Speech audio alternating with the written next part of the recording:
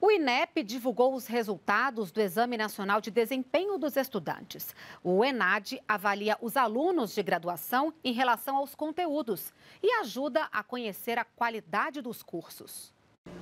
O ENAD 2021 avaliou mais de 370 mil estudantes do ensino superior dos cursos de bacharelado, licenciatura e tecnológico de 30 áreas.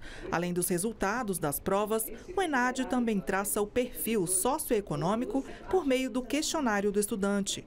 Do total de inscritos, 74% eram alunos de licenciatura, 65% tinham renda familiar mensal de até três salários mínimos e mais mais da metade, 52%, estudavam em cursos à distância.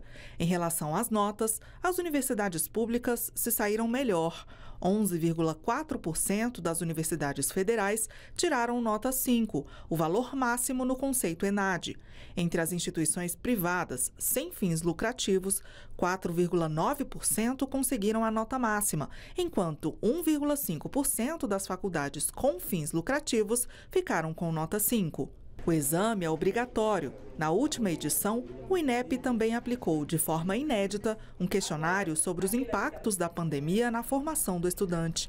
Para o ministro da Educação, os resultados podem ajudar a definir políticas públicas e guiar as instituições para que elas melhorem seus processos pedagógicos. Os resultados disponibilizados apresentam um diagnóstico detalhado que inclusive possibilita fomentar esforços na entrega de uma educação de qualidade e com foco na busca pela evolução crescente na formação acadêmica dos cursos avaliados.